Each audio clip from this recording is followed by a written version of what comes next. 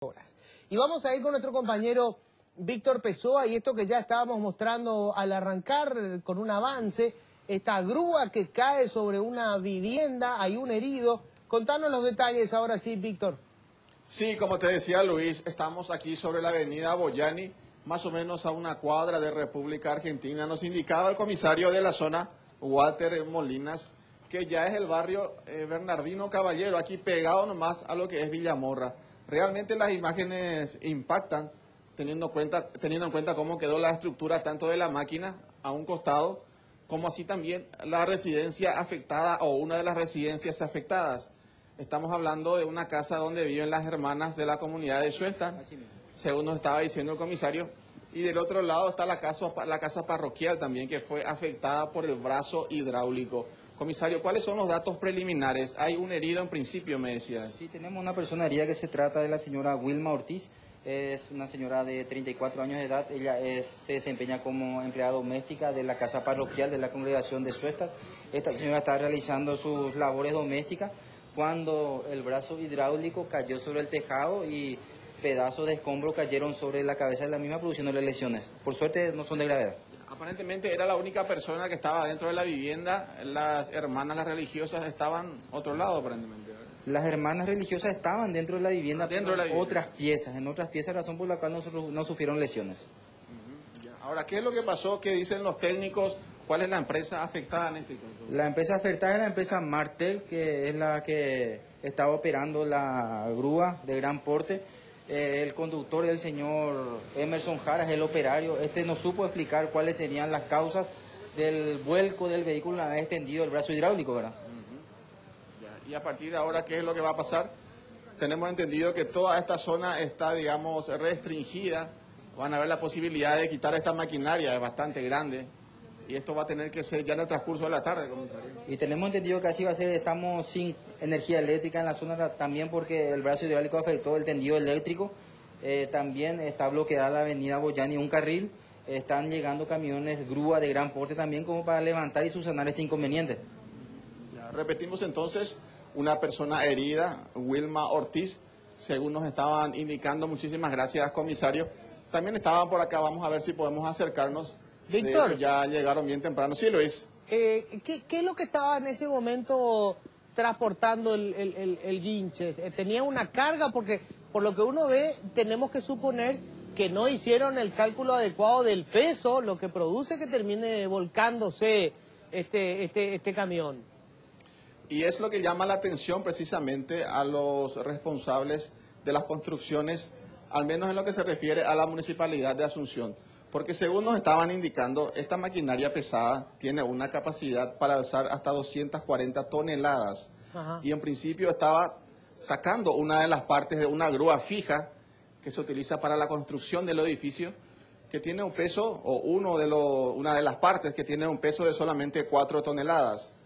Entonces, estaban viendo que una de las hipótesis del posible accidente tiene que ver con la forma de instalar, es decir, que aparentemente el operario no tuvo en cuenta algunos, algunas indicaciones o algunos reglamentos que se tiene que dar para colocar precisamente esta maquinaria pesada o sea, en el suelo y quede bastante fijo.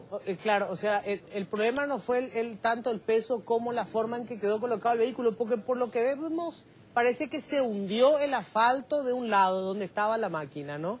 Donde están las sí, ruedas. Está, está hundido el asfalto Luis. O sea, indicaba... se dio la base de la, de la, de la, del, del, camión y eso hizo que terminara volcando. Sí, así mismo es. También decían algunos quienes eh, tienen experiencia, eh, experiencia en utilizar estas maquinarias, que supuestamente si no lo colocas en el sitio adecuado, eh, como que se corta la energía para comenzar a operar. De todas formas, decían algunos, existe la posibilidad de que vos anules ese sistema y comiences a operar. Lógicamente estamos hablando de hipótesis, porque claro, a partir ahora, de ahora están analizando para ver qué es lo que generó este accidente que realmente llama la atención. Y que pudo haber Por... terminado en una tragedia tremenda, porque eso debe sí. pesar, si es capaz de cargar 240 Fíjate, toneladas, tiene que estar pesando por lo menos mil toneladas el vehículo. Fíjate Luis, eh, lo que es, o cómo quedó la estructura de la casa de las hermanas. Destrozada la parte Totalmente destrozada. En un momento dado si también alguien vino estaba un vecino. en ese lugar, no, no contaba el cuento. Sí. Y el brazo hidráulico que vemos que tiene una cantidad importante de metros que llega hasta la parroquia, donde por lo general trabaja el sacerdote también de la congregación, según nos indicaban algunos, algunos vecinos que estaban también bastante molestos por esta construcción del edificio en este lugar. Ellos indicaban, y por lo general la denuncia siempre es que caen algunos escombros, que algunas paredes eh, de, las casas vecinales están agrietadas, por ejemplo, y que ya en varias oportunidades hicieron también la denuncia a la municipalidad. Lógicamente estamos aguardando también que vengan las autoridades para ver si, bueno, de hecho que como están trabajando, estimamos que tenían el permiso correspondiente para trabajar con estas eh, máquinas pesadas. Ya. Qué bárbaro, che, qué no Bueno, esperaremos entonces, vamos a estar en cualquier momento eh, eh, pendientes, en cualquier momento regresamos para ver si hay más información sobre cómo se produjo el accidente y suponemos también que estará la fiscalía en algún momento porque allí estamos ante un incidente que pudo haber terminado con este persona. Hay una persona herida y esto pudo haber terminado en tragedia fácilmente, ¿no? Terrible. Víctor, ¿el desvío a cuántas cuadras? ¿Dónde se produce? Porque teniendo en cuenta que es todavía hora pico, el tránsito también se va a ver seguramente muy afectado en esta zona de Boyani. Casi y los que están viniendo de la zona de Eusebio Ayala, por ejemplo, si quieren por Boyani llegar hasta lo que es República Argentina, unas tres cuadras antes hasta lo que es la calle Seferino Vega, unas tres cuadras más o menos. Parece que es el trayecto de Rubén Darío de No, al lado de la oficina. Ah. Al lado de la oficina, sí, ahí sí, Creo que no alcanza esa parte. Le tenemos a unos metros, no sé si podemos caminar a ver un poquitito. Está uno de los responsables de la municipalidad que estaban eh, haciendo las averiguaciones correspondientes y acercándose especialmente para ver qué, qué pasó o cómo se generó el accidente y a partir de allí también ver la posibilidad de cómo despejar este lugar, porque como verán ustedes es una máquina bastante complicada de operar. Entonces, en ese sentido queríamos conversar con la gente de la municipalidad. ¿Y quién se hace responsable de los gastos también? ¿Qué tal? Buenas tardes, ¿cómo están? Muy buenas tardes también para la audiencia. Si podemos acercarnos un poquitito a la zona donde ocurrió, estamos en vivo para Telefuturo. ¿Qué información tienen en relación a esto? Bueno, de tanto de la empresa constructora como también de la proveedora y de técnicos especializados en montaje y desmontaje de torres grúas. Lo, que se tiene a prima facie es un error en el equilibrio de las fuerzas para el camión grúa. No puede ver acá, ¿verdad? Y esto, eh, ese desequilibrio generó el vuelco del, camión de, de, soporte. Bueno, acá viene la gran incógnita. Es, en ningún caso puede operar el brazo en caso de que las fuerzas no estén equilibradas en el soporte. Y en este caso siguieron operando dos hipótesis. O el software del equipo estaba mal, o hubo impericia o desidia por parte del operador. O se desconectó. Por eso, el software estaba mal, o eh, Me explicabas, la capacidad es bastante grande de esta máquina. Totalmente superior. Esto estaba también la empresa diciendo de que previsionaron inclusive mayor capacidad en el sentido de que viene una arteria principal así, ¿verdad? Porque el desmontaje, estamos hablando de la capacidad de, carga de esta grúa, es de 220 toneladas, para el brazo que tenían que desmontar de no más de 4 toneladas. Hablábamos también ya con los vecinos, eh, querían saber el tema de las verificaciones de la municipalidad, si, se estaba llegando aquí para ver cómo estaban trabajando. Sí, siempre este, el seguimiento municipal es, permanente, se está, raramente es, ellos tenían permiso eh, para la ocupación del espacio público, que es lo que deben solicitar con anticipación, ¿verdad? Uno para el orden, el orden de, del tráfico y otro también para brindar seguridad cuando se producen este tipo de, de trabajo. Ellos tenían previsto para el 9, que habían postergado para el 12 y bueno, no, no lo realizaron y ya hoy sin aviso estaban eh, ejecutando este trabajo. Eh, realmente no, no había... No avisaron ellos que no, no, no, no, no, no avisaron que hoy estarían operando.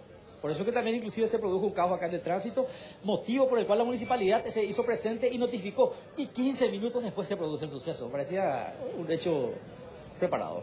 Le, le colocamos también sistema de retorno para alguna consulta al director, en este caso, de Desarrollo Urbano, Luis Villalba, compañeros. Eh, Luis, ¿qué tal? Luis Vareiro te saluda. ¿Cómo estás? Muy buen día, Luis Vareiro. Eh, ¿Podés repetirnos, por favor, la causa, por lo que ustedes están viendo entonces, la causa es que, eh, digamos, habría o una desconexión eh, en el sistema informático del aparato o una impericia de parte de quien estaba operando, pero el tema es que la base, digamos, donde estaba el vehículo eh, no era la adecuada para poder hacer la maniobra. Asimismo, es todavía este, sobre el, campo de la presunción y de la observación técnico de lo, técnica de los profesionales. Eh, así, la- lo que se puede a prima facie observar y del criterio técnico también de los que estuvieron evaluando es de que el soporte o la base del, del brazo de la grúa que tenía que desmontar la pluma de la, de la grúa estable se desequilibró.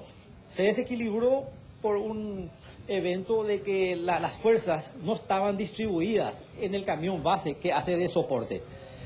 Acá viene este, un hecho llamativo, porque el brazo de desmonte en ningún caso opera en caso de que los esfuerzos no estén equilibrados. El software corta, el software corta directamente toda operatividad. Claro, sí. Ahí se entra en el campo de la presunción. O el software estaba mal o desconectado, como bien lo mencionó Víctor, o eh, impericia o desidia por parte del operador. O sea, a ver, la máquina tiene, por decirlo así, un centro de equilibrio que eh, opera de manera automática. Cuando hay, no hay un contrapeso suficiente para el movimiento del brazo, se, se desconecta la máquina. Así mismo, desconecta toda operación. Ya. Y en este caso, cuando hablamos de eh, la base, esta, esta máquina eh, tiene alguna manera de sujeción al suelo o es un contrapeso nomás? No, no, no. Tiene este, patas este, súper firmes que tienen también este, amortiguaciones neumáticas que hacen de que la, la fijación al suelo sea totalmente segura. Y a partir de allí el software distribuye las cargas para que exista un equilibrio en la operación. Ya, perfecto, gracias. Eh, sí. Una pregunta, eh, arquitecto. ¿Cómo queda la casa de al lado? ¿Quién se encarga de las reparaciones y qué tipo de gestiones hace la municipalidad también para salvaguardar los derechos de, de los vecinos? No sé si la estructura, si va a poder seguir siendo habitable esa casa, dónde van las personas que vivían ahí entre tanto y quién se encarga de los gastos. Correctísimo. Eh, hicimos todas las previsiones correspondientes. De hecho, toda obra en construcción requiere de un seguro eh, para contra terceros. Lo mismo también este, la empresa proveedora del servicio eh, tiene un servicio, de- perdón, eh, un seguro para terceros. En, ambos casos, eh, las empresas corren con todo lo que hace a subsidiar, como también reparar y garantizar la seguridad en la infraestructura de las viviendas. Se hacen cargo las empresas correspondientemente, pero la municipalidad hizo las previsiones del caso. Una, una cuestión final, Luis. Como hay una persona herida, nos decían, eh, tiene que haber participación del Ministerio Público. necesariamente. Estamos esperando por eso justamente a la Fiscalía hacer un levantamiento y por sobre todo ver las condiciones de la persona que fue lesionada. Eh, felizmente no, no, no, no no fue muy grave. Perfecto, gracias, Luis. A ustedes. Gracias, Víctor. Dale, señor.